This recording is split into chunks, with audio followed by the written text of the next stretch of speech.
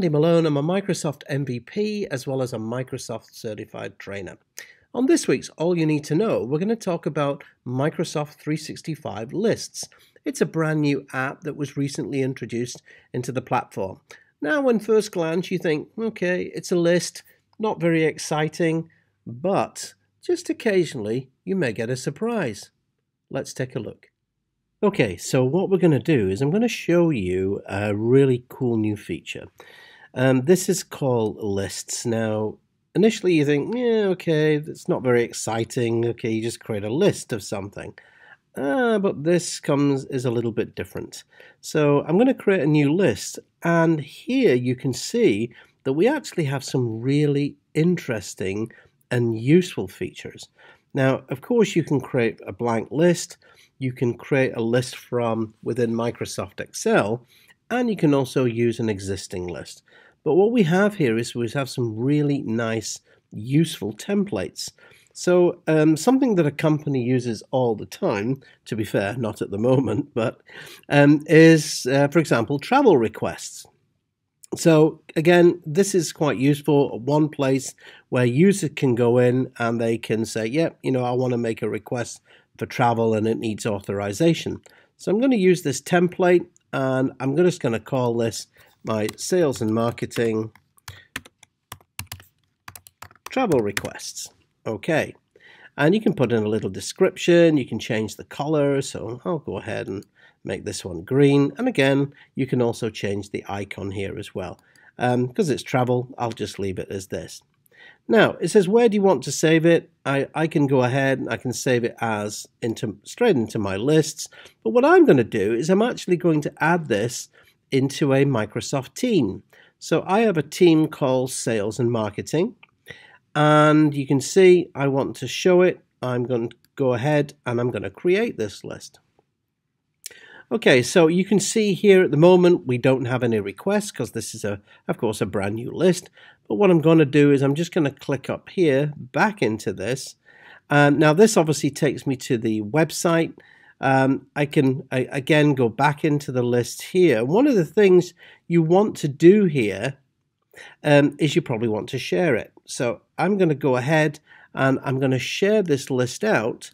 And uh, again, I'm going to share this into a team. And if I just show you this, so if I go into my um, Microsoft Teams here, let me just bring this up. So here is my, um, I will just bring up Microsoft Teams, yes. So you can see here that we've got a Microsoft team called Sales and Marketing Team. All right, so I want to make this list available to them in here. So I'm going to go in and again, I'm going to say, right, I want to share this. And I'm going to choose the permission. Um, so I'm going to say, yeah, I'm just going to give them full control. In fact, you could, you might even actually change that. You might say, yes, you can edit. that means you can add content, but you can't delete the actual list. And again, you can say, do you want to notify anybody if any new travel request comes in? So, for example, uh, you can uh, notify them uh, if you want to do that. So again, I'm going to say, yes, I want to grant access to sales. And you can see it's come up, the, the Microsoft team here. It's got an email address. So I'm just going to say, yeah, so everybody in the sales and marketing team, um, you can uh, basically go in and do this request. So that's fine. So I'm going to go ahead and just accept that and I can close that now. So um, that is now shared. So if I go back into my Microsoft team here, what I'm now going to do is I'm going to come down to the General tab. And uh, again, here you can see I can go ahead and I can uh, add something in here. And so what I'm going to do is I'm going to connect this to an application. Of course, this is my Microsoft lists. So I'm going to bring in my list here. Um, I'll go ahead and save that.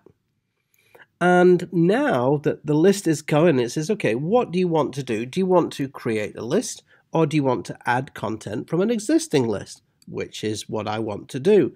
And sure enough, here you can see that we've got our sales and marketing uh, travel requests in there. So I can say, yep, okay, that's exactly what I want. So I'm going to click onto this tab and you can now see that members of the team can simply come in to this.